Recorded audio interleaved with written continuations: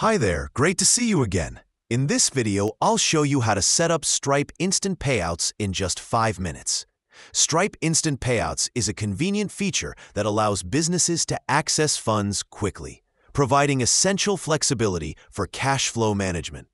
Let's dive into the process to get you set up efficiently.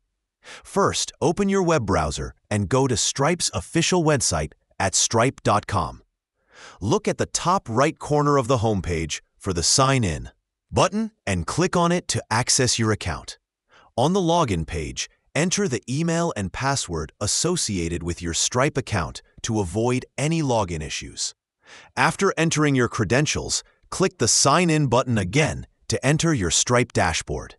Once you're logged in, you'll find yourself on the Home section of the dashboard. Focus on the Balance tab usually located in the main navigation menu. Clicking on Balance provides an overview of your current funds available for payouts and other financial details your business might need. To receive instant payouts, make sure you have a bank account linked to your Stripe account. Click on Add Bank Account in the Balance section to securely input your bank account details. Alternatively, for a more detailed approach, navigate to the Settings within your dashboard.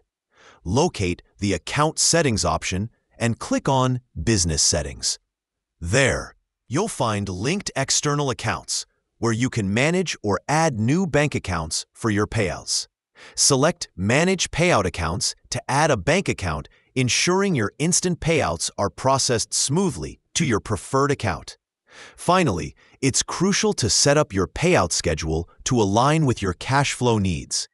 Options typically include daily, weekly, or monthly payouts. By setting this up, you'll ensure your funds reach you when needed. And there you have it. You've successfully navigated through setting up Stripe Instant Payouts, allowing you to access your earnings without delay. This process not only saves time, but also enhances your financial management capabilities.